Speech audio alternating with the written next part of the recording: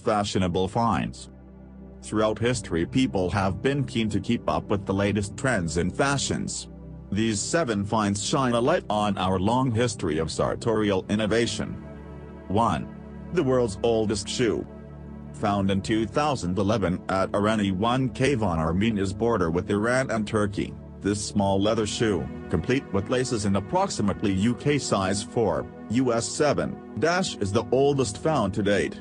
The caves of the Vaitz region are also home to a 5,900-year-old skirt, which Pavel Avetisyan of the Armenian Archaeology and Ethnography Institute, describes as being of an amazing material with rhythmic color hues. These rare finds were both well preserved thanks to being buried under layers of sheep dung from the later, non-human, occupants of the caves. 2. World's most beautiful mummy.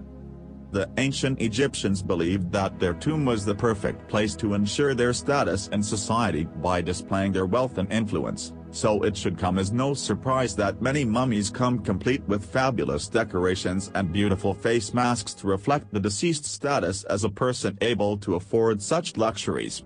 Egyptian artistic conventions always portrayed people looking their best so it comes as no surprise that many Egyptians chose to be shown in the full flash of youthful beauty in their mummy portraits, regardless of their age or appearance at the time of their death. However, this particular mummy, whose identity is unknown and who hails from Saqqara, is an especially stunning example and hit the headlines as the world's most beautiful mummy. Dating from the time of the 30th dynasty, 381 to 343 BC, this stunning mummy's face was covered with the gilded mask showing a softly smiling visage with neatly defined black eyebrows above clear black eyes, outlined with typical Egyptian-style eyeliner. A painted blue wig frames the face. Although the gender of the mummy remains unknown, it is likely to be male as the mummy is shown with a vibrantly patterned painted beard. Eyeliner and cosmetics were often used by Egyptian men. Elaborate wigs, for both the head and chin, are known from ancient Egypt and mummy masks reflect the diversity and intricacy of the hairstyles worn by ancient Egyptians. Mummies of a high status, including this one, were wrapped in fine linen and amulets of precious stones, metals and faience placed within them. Similar amulets, believed to have magical or protective powers were also worn in life. This anonymous Egyptian is proof that a passion for fashion need not end with death. 3. Queen's Treasures, Nimrud. The royal tombs of Nimrud, in Syria, were first discovered in 1989 by an expedition of the Iraqi Department of Antiquities and Heritage. Amongst their spectacular discoveries was an assortment of jewelry and personal items including the fabulous tiara belonging to Queen Yaba, wife of King Tiglath-Pileser III, who ruled from circa 744 to 727 BC found in Queen Yaba's tomb in the Northwest Palace, the intricate gold tiara depicts flowers and mythical winged beasts in stunningly fine detail. The hoard, belonging to Queens Yaba, Bangitu, and Atalia, also included golden necklaces, bracelets, rings, hairpins and earrings as well as four bowls decorated with typical Assyrian flower motifs and inscribed with the names of the queens. 4. Cosmetic Jars, Egypt these might appear to be conventional canopic jars, constructed of blue faience and bearing the name of Ramesses II, but they are in fact testament to the ancient Egyptians' love of keeping up appearances. These seemingly ordinary jars have an interesting backstory behind them, they arrived in the Louvre in 1905 and seemed to contain embalmed organs including a trace of what appeared to be heart tissue. However, in keeping with the Egyptians' belief that the heart was needed in the body to enter the afterlife, Ramesses II's mummy was complete with his heart and the jars were dated to around 130 years after the death of Ramesses II.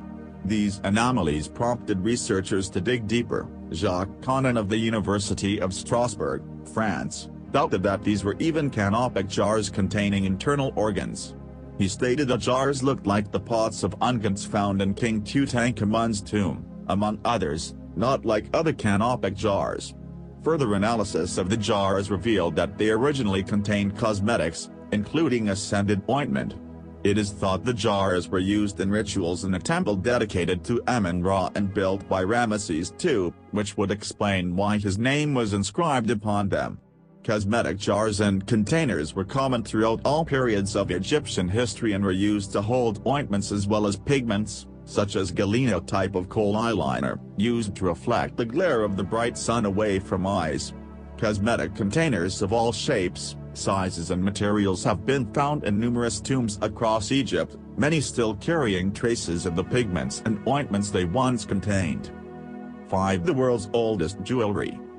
It appears that humans have been draping themselves with jewelry at least 25,000 years earlier than previously thought. These shell beads date from around 100,000 to 135,000 years ago and were found at Es Skhul, Israel, and Oued Djebbana, Algeria.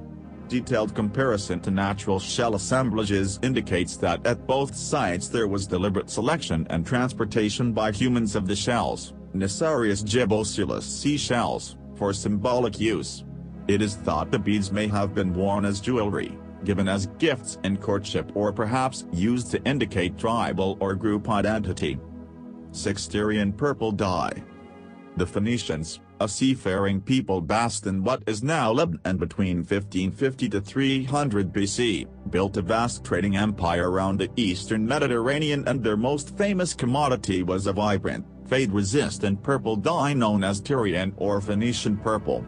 Prized by the Romans and later the Byzantines who used it for the robes of emperors such as Justinian, pictured left, it was a luxury product and immediately recognizable status symbol, made from the mucus of a local species of shellfish decomposed in huge vats. The dye was known all around the classical world and beyond, being mentioned by such famous names as Aristotle and Pliny the Elder as well as on cuneiform tablets dating to 600 to 500 BC. 7. The Ramesses Girdle.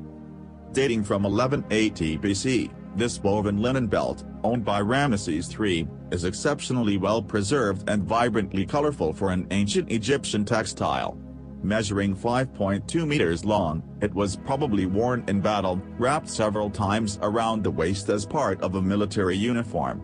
Colorful zigzag design, probably taking 3-4 months to complete, would have ensured that even in the midst of battle the pharaoh stood out in his finery. The only other surviving examples of such garments are from the tomb of Tutankhamun.